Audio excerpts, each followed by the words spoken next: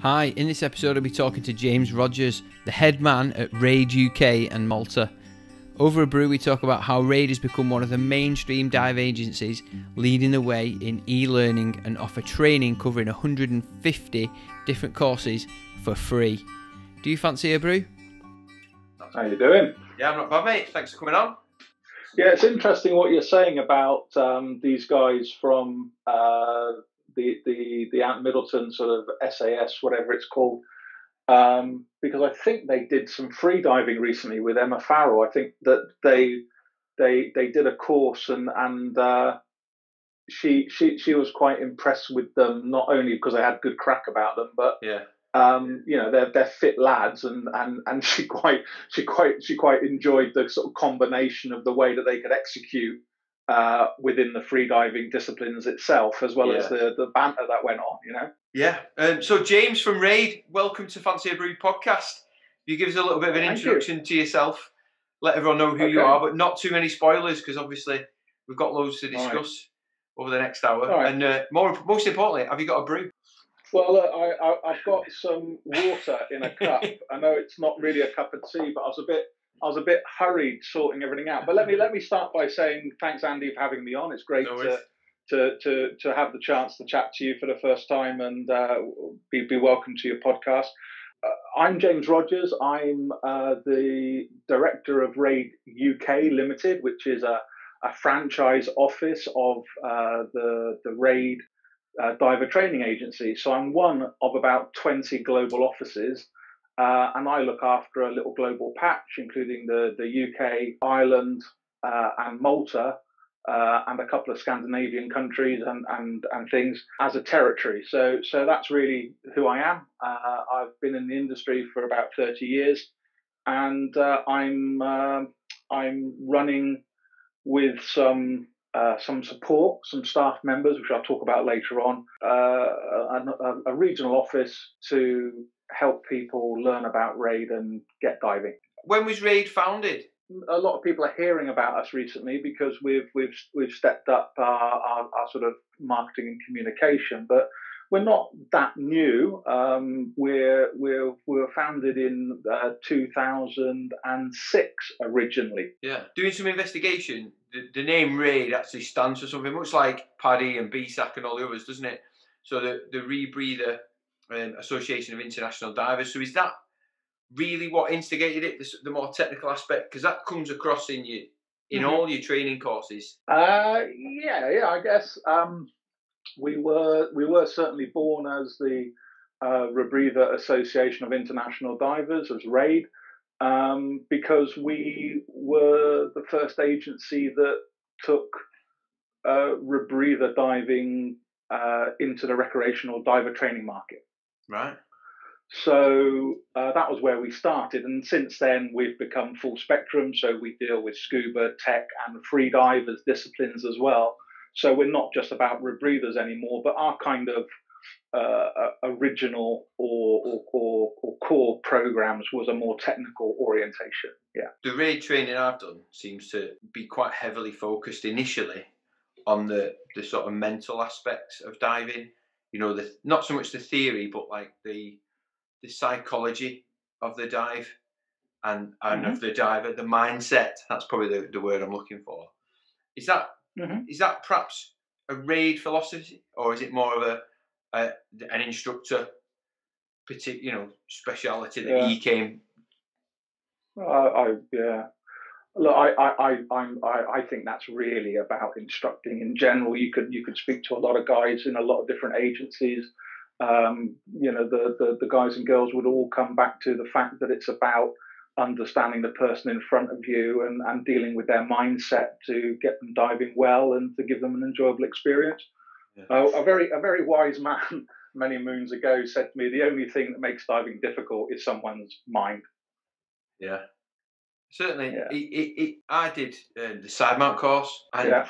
like the first day just seemed to, in, in in certainly the best way. I was left at the end of it going, "Wow, I've I've I've kind of everything I've done so far up to this point has been questioned, and I've perhaps come up with an alternative answer now, which has made me perhaps a better diver in, in the, the way that I'm going to think about things. So that philosophy, struggle saying that, don't I? That sort of mindset was was, was a massive eye opener to me. I, I quite enjoyed that part of the course. Yeah.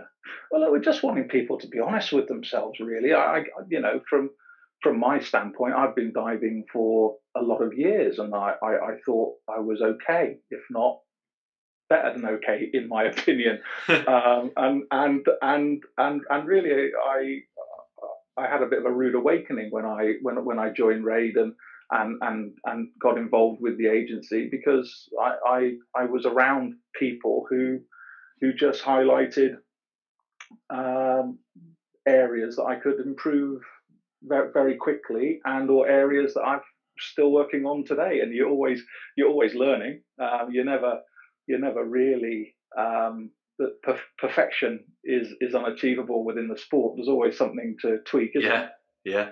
So taking it back then, so where did you start diving? What what's the script?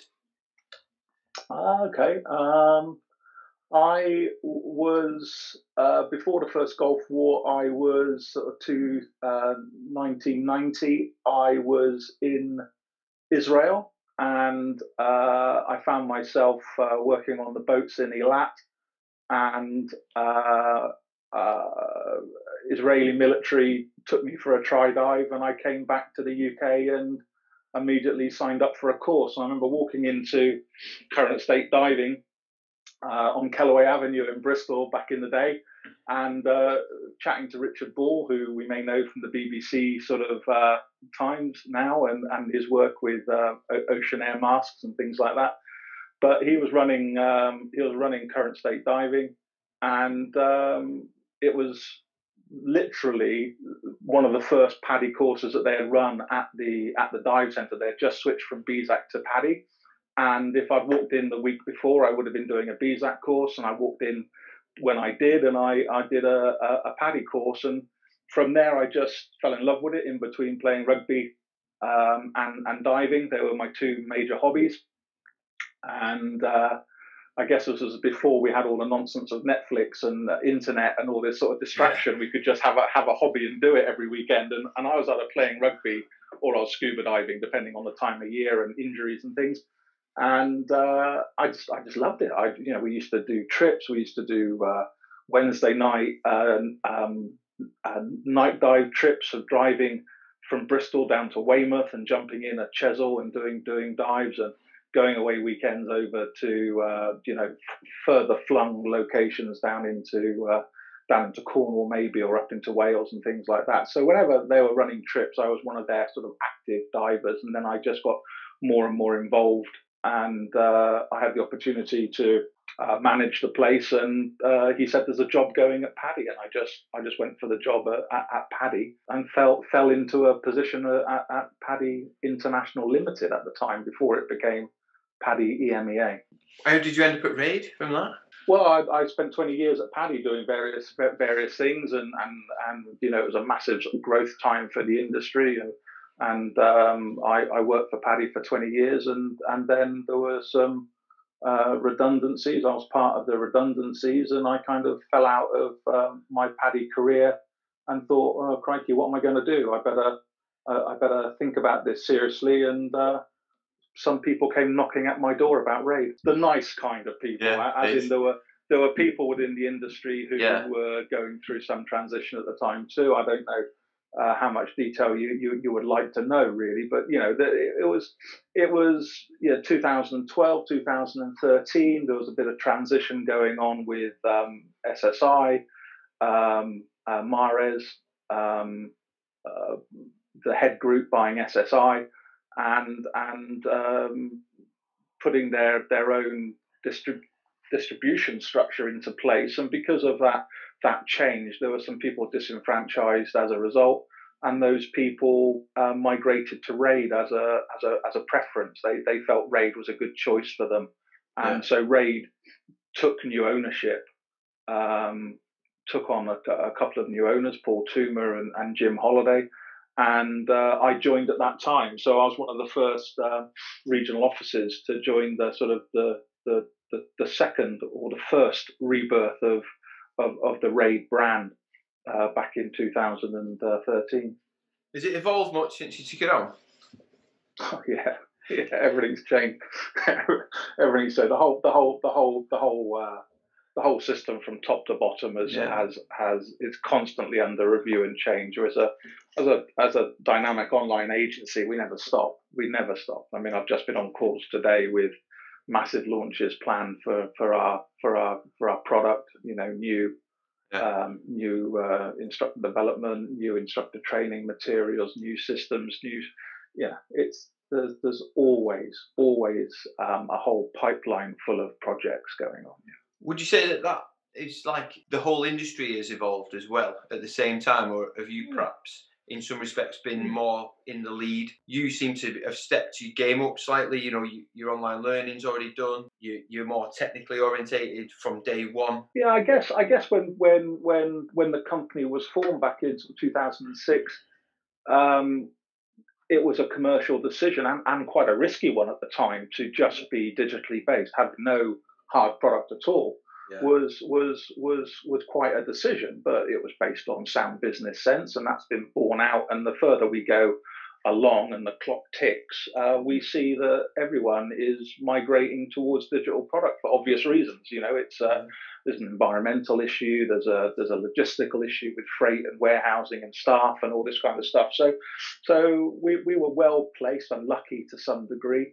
Um, and and others have followed us, but it's helped the whole industry move. To answer your question specifically, I think I think uh, the whole industry is is moving at a rapid rate of knots, and, and it's moved a lot in the last decade uh, yeah. for sure. How much sort of detrimental activities gone on with with all this COVID that's happened this year for you, with as a business? Do you think? Uh, that's been an absolute mess of a year. There's no there's no point sugarcoating it from a from an industry that's based around travel domestically and international travel having having travel restrictions, both domestic and internationally, is, has, has crippled the industry. Certainly, we as RAID, speaking for uh, Ollie van Overbeek, my, my training manager as well, we use this definition of inland sites quite a lot. Um, they are they are for the industry. I mean, firstly, where would we be as industry without inland sites? I mean, yeah. with the with the weather and the, the logistical implications we have of diver training, um, we, we would we would be a lot further back without having these options to dive uh, inland at these great sites. But we, we, we, we, we, we like to think of them as, as kind of like, like a gym for you as a diver. You yeah. go there to, to test yourself and to put yourself through skills and drills and for fun and, and for your, your own fitness levels. But, but predominantly they are, they are there for you to dive at in preparation for going away and doing the real thing. Mm, so hard work, yeah, hard work when they're just yeah. not available, though, isn't it? Oh, it's a mess. Yeah, absolute mess. And then these guys have worked their their, their tails off to um, meet the, the guidelines and the restrictions. And everything I hear from them is that there's, there's not been any cases at these sites. There's nothing no. to show that it's unsafe. You're outdoors. You're covered in PPE. You're not you're underwater. you know, yeah. how safe do you need to be? And I think I think as a as a as a nation and a and a world, we we have to be a little bit careful not to mitigate the risk out of everything we do. Um, uh, it's just crazy to to to try and go through life doing things that just don't have any risk involved to them. We want choice, and yeah. if we want to climb a very steep mountain uh, with with with uh, with, with, with a friend and, and, and with uh, uh, sort of ropes and various other uh, safety equipment, that's dangerous, but we make the decision to do it. And I think there's an element of that within scuba diving as well, which yeah. is let's not let's not uh, try and make something that can't be made completely safe. Completely yeah. safe. I mean, I do like that that idea of creating your own risk assessment and and if I was living near the water's edge, you know, on the coast, I'd be going diving this afternoon, wouldn't I? Which is no less dangerous yeah. than, than going diving at a quarry, other than I have to yeah. pay someone when I get there. But well, I'd, I'd, I'd caveat that with we have to also pay attention to the law and and and and, and not put ourselves into a situation where yeah. we're we're turning up at a, a small little fishing village on the south coast somewhere where they don't want people from from the city coming down and, and maybe bringing in the, the, the, virus. So we're living in unprecedented times. Mm-hmm. And I think we just have to apply a huge amount of common sense, but also within that, as a dive industry, um, appreciate that we we love the sport and we will we will do it. We'll find a way to do it. We just need to be um, sensible with the application. Yeah. Do do raids sit on the BDSG? Yes, yes, we do. Yeah, very good uh, committee group, the British Diving Safety Group. Very pleased to be part of that. Um, there are several within the UK. There's uh, also uh, SITA, uh, the Scuba Industry Trade Association, which has been going for for for, for a lot of years, um, and um, we're we're we're pleased to have connection to to to these groups. It's a great way for the dive industry to to get together regularly and to um, make sure we're all pulling in the same direction. Is that something you do, or someone within your office, within the business? Do you get involved personally? No, um, it's something that I, I, I I share the workload with. We've got an international training director, but he's over in Canada. But the the president of RAID, uh, Paul Toom, uh, is based in London, and, and, obviously with lockdown, he's he's not been able to travel internationally the way he normally does. Mm. So I've been quite fortunate with his involvement in uh, what I class as sort of RAID UK business, domestic business, and uh, he would he would jump on various calls with me with committee groups, and uh, we share the work between the the two of us, but also. Um, Ollie Van Overbeek, who is um, he runs a dive centre, uh, Dive Life in Manchester, but he also contracts to me for for several hours a week um, to to help me from a training side because I'm not uh, I'm not diving as much as I used to with other commitments, both both work and family. Um, I I need someone who's um, diving uh, and really feeling um, that side of the business from a training side. So it's a it's a nice balance. When I, I had Ollie on a couple of episodes ago, maybe two or three oh, weeks he ago. Before me, did he? Oh, he did, mate. He he snaked in there, but I definitely got that yeah. feel from from Ollie that he was he was quite passionate about getting training materials in a particular way and a format that that read well and was good you know, for the, yeah. the, student, you know. So it's not surprising yeah. you've got him doing that. Yeah. Yeah. Well, I mean, he, he works uh, for for RAID UK as a training manager, so he'll yeah. deal with any sort of training questions that I want to get him involved with. He, he, he's also writing for RAID International, as he as he said during his uh, his, his work with you on the podcast. He's yeah. he's he's written a lot of programs for us and part of our writing team, which is is full of very experienced um, industry names, which is great. Sorry to interrupt this episode to drop another plug for my Patreon account but I do spend several hours on each episode in the search for new guests, the recording, post production, the advertising, and sometimes days on my YouTube videos. So, to help me keep up with its production and the frequency of releases, I'm asking for you to become a sponsor and Patreon of the Are You a Scuba Diver Fancy a Brew podcast. When you become a supporter, not only will you have my undying appreciation for helping to support the podcast, but you'll be able to take advantage of some of the many tiered benefits that come with it, some of which includes official merchandise.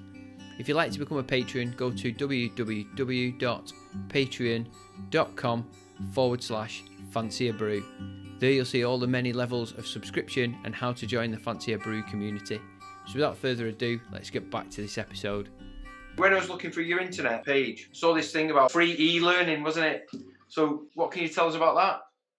Uh, okay, uh, free free learning is uh, a, RAID marketing initiative that we've launched fairly recently. It uh, is an extension of uh, what we had within the system originally, which was a preview course. So when you um, did a course, you would get um, another course gifted to you, as in you did an open water 20 course, you might get the advanced 35 course. And when we say a, a gift course, we mean the academics uh, only, not the actual. You don't get the full course. You don't walk into a dive center and negotiate a discount based on the fact you've got the, the, the, the, gift course. It's just a knowledge transfer. It's just a marketing way to get people reading and and, and studying. And, and finding out about new types of uh, uh, courses and, and equipment disciplines and things. So we've extended that into and remarketed, rebranded it under free learning. And that means that the whole system, uh, both for scuba, including rebreathers, uh, and free diving, are now opened uh, up for free learning, which means that when you register on our program as a new diver, uh, from from a- anywhere you want, from any agency, any any non-divers, anyone who wants to register as a, experienced diver or instructor, you get a profile. You log into that profile for the first time, and you'll see a great big panel of hundreds of different courses that you can dive into and start to enjoy based on your preferences. So it's a it's a great way for us to introduce you to the the, the suite of RAID product uh, and uh, for us to entice you to our trainers and to our dive centres for the application of those courses uh, involving their great tuition and the water work. So, so get this right. I can go on to your website now, register as a diver, and then go and read about I don't know trimix, about rebreathers, whatever, and it doesn't cost me anything. Yep. No way. Absolutely right. That's crazy. I'm, I'm on there this afternoon. Then I have nothing to do. It's raining. I'm going going reading about normoxic trimix. Yeah, so uh, just uh, everyone get off Netflix, uh, get get moving around, get working on your fitness, and get working exercising your brain as well, and get onto free learning and and do some do some uh, learning on uh, on the different uh, adventures that you can have within the sport on, uh, on these different disciplines of uh, equipment. But everything everything from uh, uh, rebreather stuff to technical stuff to you know wreck diving through through the whole spectrum. Everything's there for you. As soon as as soon as you buy the course, then that course disappears from your suite of free learning options. But um, they're they're all there for you to enjoy. How many is there off the top of your head? If we count uh, the free learning platform as well, over 150 different courses are Jeez. open and uh, freely available for for your free learning. Yeah. So if people say nothing good came of 2020, well now you can go onto Rage's website, you can learn 150 different courses, and then have something to look forward to as soon as perhaps the new year and all this vaccinations squared away. And, and actually start looking at a course to further your, your sort of dive career or Yeah. dive journey, couldn't you? And one, one important element of that that I've got to mention so far is once you've done the quizzes from the course that you've selected. So, so let's say you're a non-dive and you go, right, I've always wanted to learn to dive. I'm going to do the Raid Open Water 20 course. You go onto the Raid Open Water 20 course and you do the various chapters. Uh, I think there's about 10 within the uh, uh, Open Water 20 program. Each of those have a little quiz at the end of each section. Once you've done that quiz and then you sign up through a dive center to do the full course, all that academic work is imported into the full program. So you don't have to do it again. The instructor will gauge your mastery and understanding and make sure the knowledge transfer has taken place of that information and reinforce everything that needs reinforcing. But once you've learnt it, you've learnt it. Let's not overteach this. Let's not waste time. Let's get you diving. Yeah, I do like that. I, that's one thing that I did. I was highlighted when I was reading through your your website. It was more about why you did the the online learning initially is to get when we are when we are training, get more time in the water rather than time in the classroom, time at the lakeside. Just get in the water and get diving really. So I, I do like that idea of training, just getting amongst it. Looking through your platform earlier, obviously the courses in in in whatever agency really, they've all got the same sort of end goal, haven't they? We're all trying to get to a different depth with a different gas, with a different set of equipment, etc.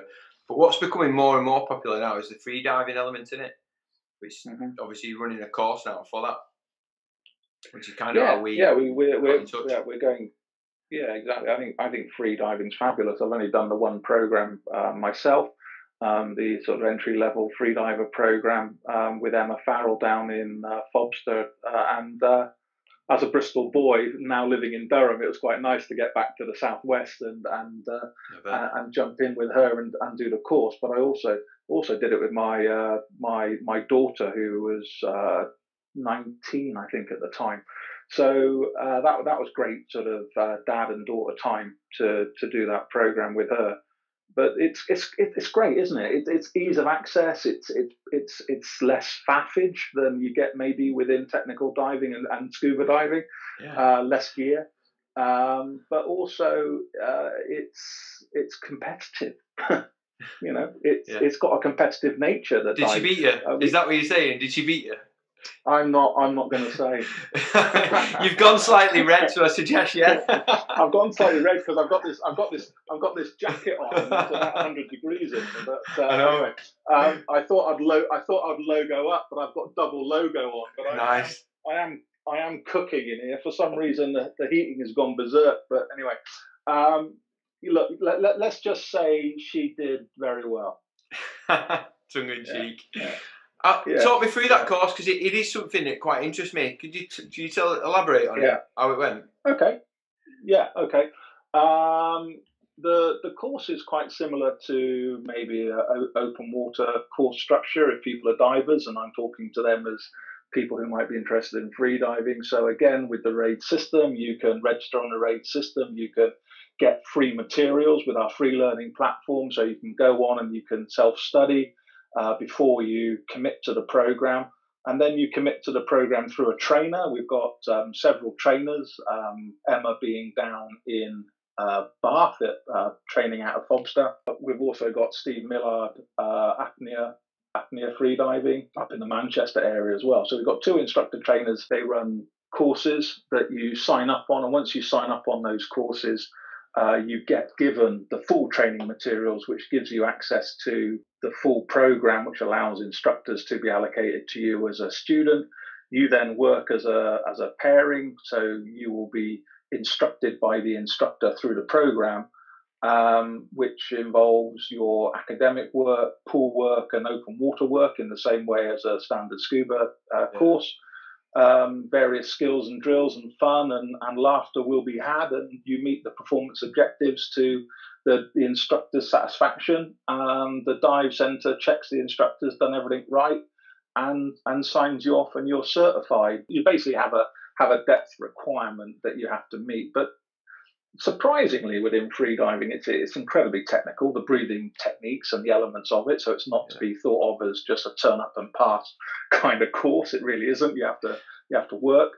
Um, is uh, is the amount of um, equalization issues that people have because of the um, the depths uh, and the, the pressure changes it, it catches a lot of people out being able to get to the depths even if they have great uh, breath hold capabilities it's equalization that catches a lot of people out of and stops them stops them from completing the course so i think i think the fallout rate is is, is about 25% from our statistics Yeah. of people who sign up for the course. But then that's just a, a case of you know continuing to to learn and to find personally what techniques you can apply, and there's various different equalization techniques to to to get you through the uh, uh, the water column to the depths needed. Yeah. Do you think you're going to progress on that, or is it more of a let's go and have a look? we haven't got this course ourselves, so I'm probably promoting another agency now, which may not be that smart business, but I'll do it anyway. Is is spearfishing? I think it's a very environmental uh, way to fish. You know, very Yeah. selective. You have to identify species and size, and it applies the the techniques of free diving in an application that would really interest me. Although I enjoy free diving, I- I'll have to work quite hard at it um, to be at a level that I was comfortable to to do it, and particularly um, spearfishing, I'd have to do a lot of work um, to to do it. It's um, it's it's like everything, you know. You have to you have to commit a little bit of time and effort to it to be good at it. Mm. So what have you got next? What have you got you personally? Have you got planned any dives that you can plan in this crazy time?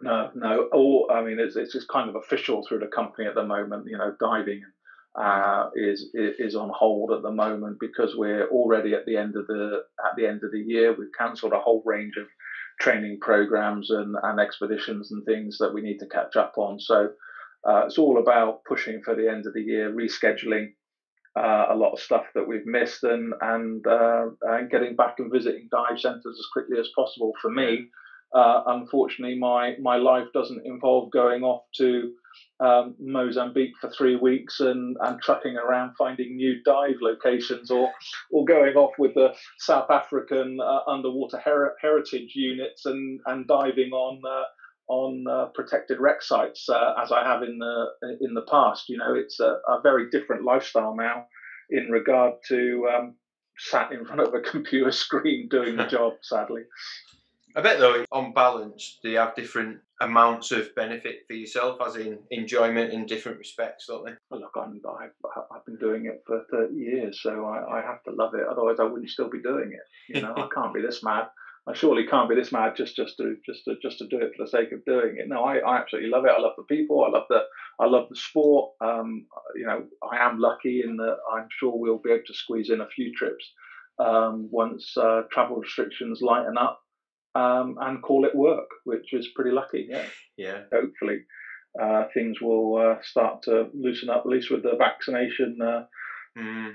news coming through and the big push. We'll we'll uh, we'll, we'll hope that uh, everyone starts to see the benefit soon. Well, you never know, dude. Have you had anything to do with these the Online digital shows, dive shows? yeah. Have you had anything to do with them? Yeah, Scuba Digital. Yeah, we got involved in that. Again, it's it, it's it's pretty hard, isn't it? It's not like the real thing. No. um, but we have to adapt. And I think credit to the, the guys and, and girls involved in in in pushing to at least give us some platforms to continue to promote the industry on. So um, yeah, we'll continue to support um, you know as much as we we can within reason. I mean, my my, my wife my wife works in um, in audio digital events and, and, and things and, and that, that industry in particular has been very heavily affected by the virus you know the all the technicians out of work and them having to switch everything to digital so digital shows um, yeah we'll see we'll see how they go it's going to take a little bit of time for people to uh, get used to them think.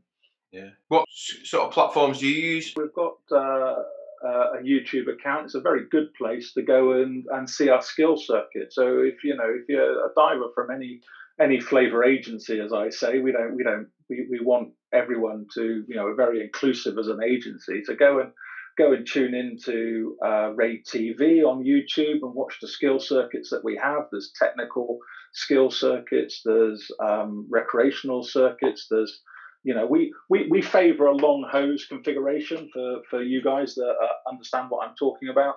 Um, you know, we like um, a, a recreational uh, primary donate configuration, a Hogarthian configuration on our regulators, but we don't we don't mandate it. So a lot of our skill circuits, or all of our skill circuits, will have a an option to watch it on a long hose drill or a or a short hose drill but we've got uh, I think I think I looked fairly recently and we had something like sixty thousand views on uh, on on on selected skill circuit videos. So we're doing Crazy.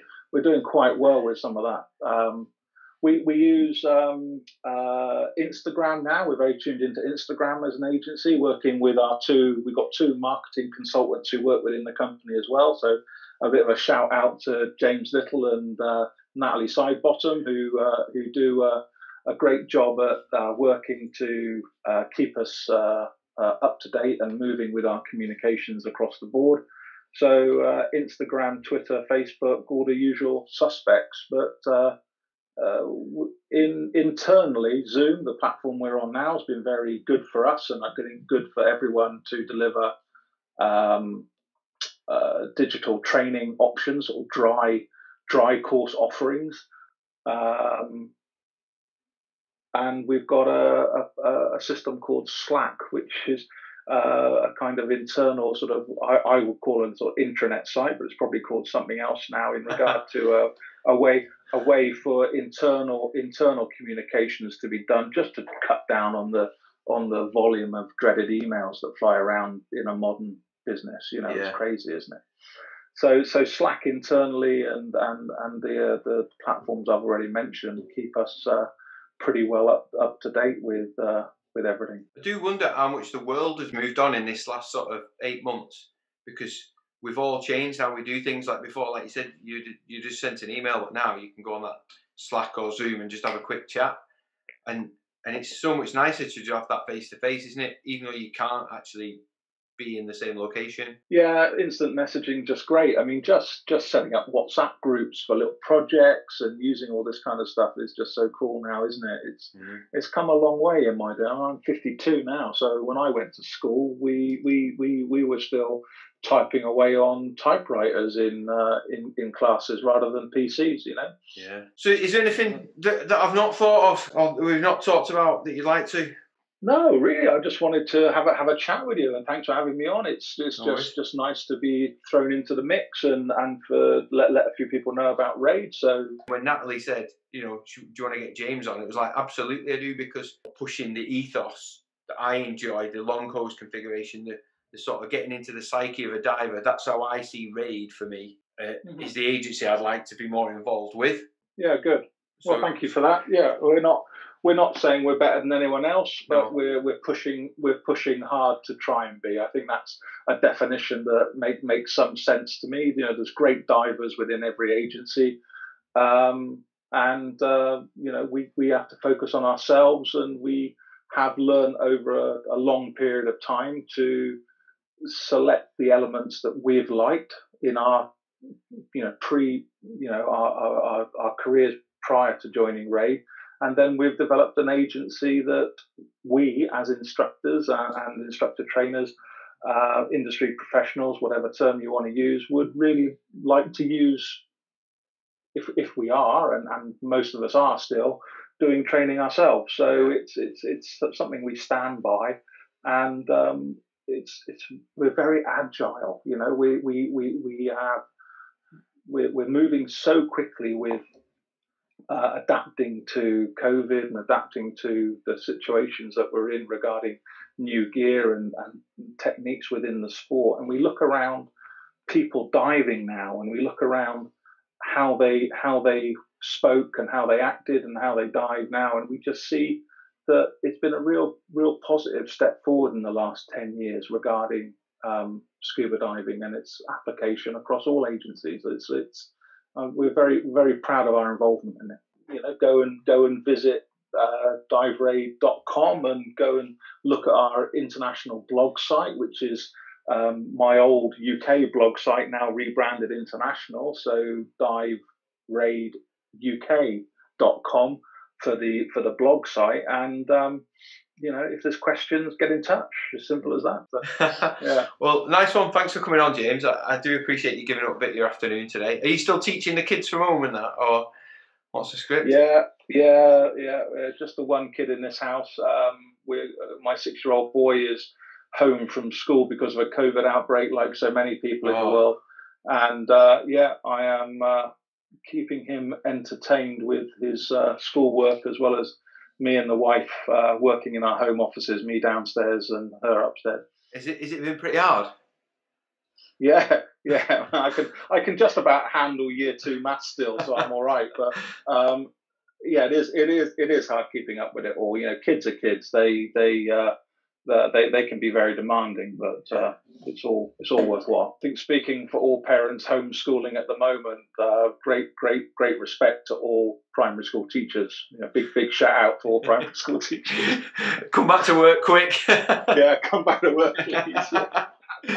Thanks, mate.